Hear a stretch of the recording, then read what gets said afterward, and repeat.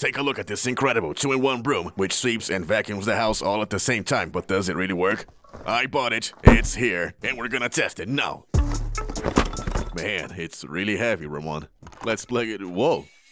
What was that? Take it easy there. It's not your time to shine yet. Let's finish assembling it. It doesn't have a switch on the handle. This is what you do if you want to turn it on. You have to pick it all the way up to turn it on. Now this vacuum cleaner better be good, guys. Just tilt it like this.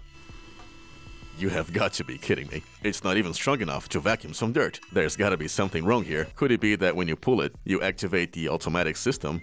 Let's see. There. But now, I want to know if it'll turn off. There. Look, Ramon, it's off. Have we finally figured out the mystery of the broom? Why isn't it turning on now? The broom is out of battery. Well, you know what? Do you see that stump over there? Can you throw it for me?